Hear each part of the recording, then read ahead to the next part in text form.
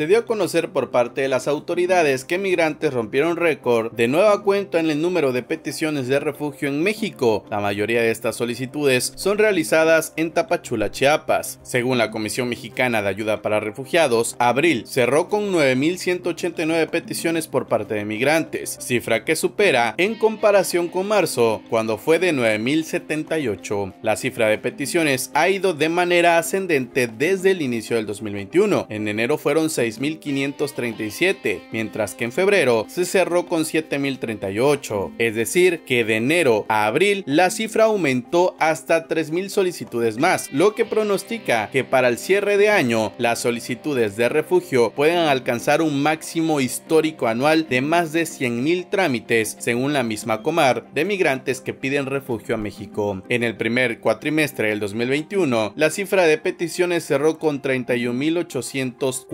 31.842, de las cuales 15.842 peticiones han sido de hondureños, es decir, que el 50% de solicitudes ante la Comar la hicieron personas procedentes del país centroamericano. Haití se ha colocado como el segundo lugar con 4.315, le siguen Cuba con 3.041, El Salvador con 2.460. En 2020, la Comar contabilizaba un total de 41.223 solicitudes.